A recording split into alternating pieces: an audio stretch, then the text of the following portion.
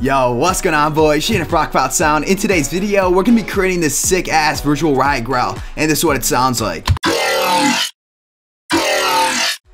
So absolutely insane and monstrous. If you guys like that sound, make sure you guys do me a favor by clicking that like button. It just helps keeping the tutorials going and gives me an idea of how many of you guys actually like this bass. So also, if you're new here, make sure you guys click that subscribe button because we have weekly tutorials coming out all the time. You got nothing to lose. Click that subscribe button and make sure you guys smash that like button as well.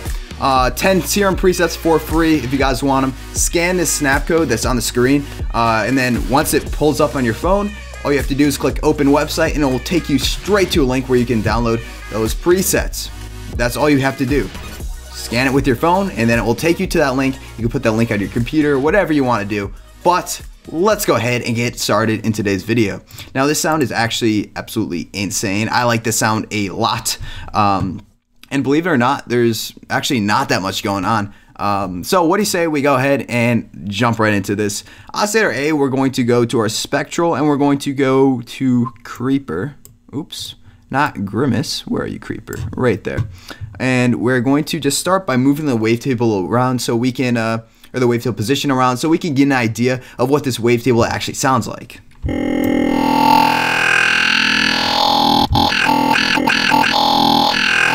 So very vowely, really vocal waveform here.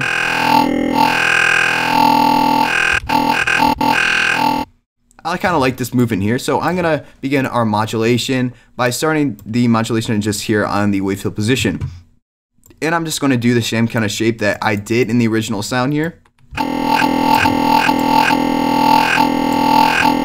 And I'm going to put this on trigger, one half and trigger. Okay, next we're going to go into our mirror and this is going to mirror the waveform um, at different points. It's going to select a different um, a different point in the waveform to mirror. So I'm going to move it at around this, what is that, 80 percentile mark. And if we turn the mirror all the way up, it gives us a completely different sound. So we're actually going to modulate this to go all the way up.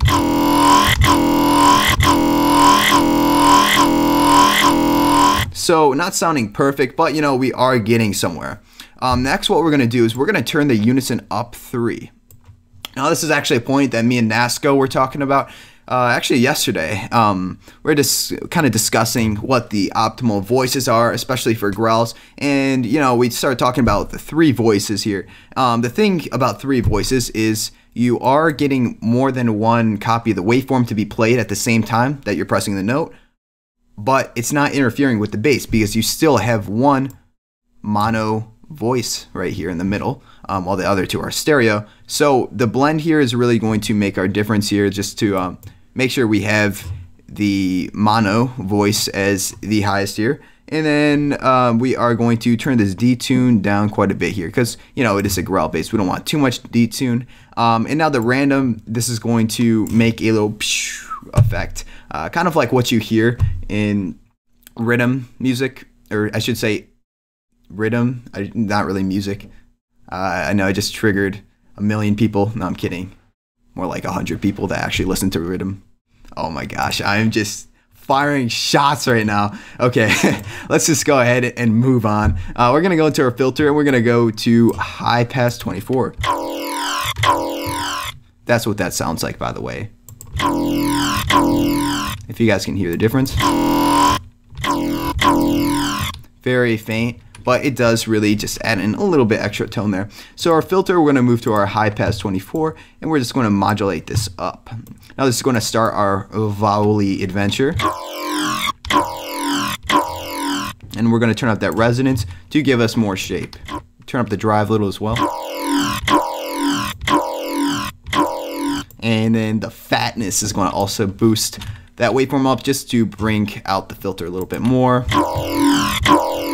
Okay, now we're sounding pretty good.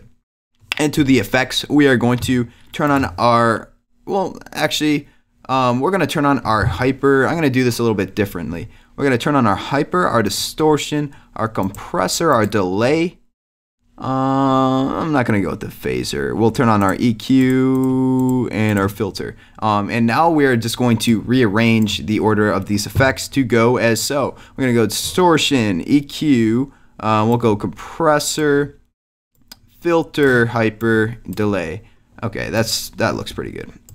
So the reason we're doing this is because first we want the sound to be processed through the distortion. Um, when we have other effects that come before the distortion, such as the hyper dimension, um, it'll actually really screw up the bass. For an example, it'll pick up the um, the extra stereo spread and the extra clip or the extra.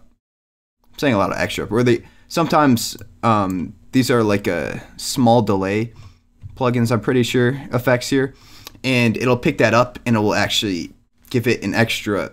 I keep saying, you know, what am I saying? Okay, it'll give it I have to use the word extra. I'm sorry. It'll give it an extra um, clip or an extra release when we press the bass. Um, you'll also get another another little tail, which we do not want. So this distortion can kind of mess some stuff up. So we put it up first, usually on our effect chain. If you watch my previous tutorials, and now into the EQ. Um, this is just kind of really harsh effect here. What we're going to be doing. So we put it before the compressor, which is later going to be turned on multiband. Um, and that's really just going to calm it down a little bit and just kind of focus frequencies a little bit better there. Um, and then, yeah, it's pretty straightforward for the rest of that. Let's just go ahead and start here with the distortion. We're going to turn on tube distortion, and we're going to turn that drive not all the way up, but just to about 93%. Uh, I I realized that I, since I used the word extra quite a bit there, I might have been a little bit confusing as I just kind of was mumbling a little bit. So if you guys have any questions, drop that in the comments. I want to make sure I'm giving as much value as I can to you guys. So um, I'll be sure to explain anything that you guys need. But anyways, EQ, we're going to boost this bad boy up to about 16 decibels. And this uh, frequency here, we're going to move down to, let's say, 40, 50 hertz. We're going to modulate this up. Okay. Uh, let me turn off these effects. so we are getting a little bit of modulation here. Um, and it's actually creating a nice effect, almost like a talking sound. You know, it's a really nice way to add a little bit more vowel to your sound. And we're actually going to boost um, the same slope right here, just a little peak here, and um, on the higher end. And we're going to move you to about, uh, we'll say, 2,300 hertz. Uh, turn on the gain a little bit. Okay, now we're getting somewhere. Turn on the compressor and we're going to turn on multiband. That should even everything out, as you can hear. If I print this before.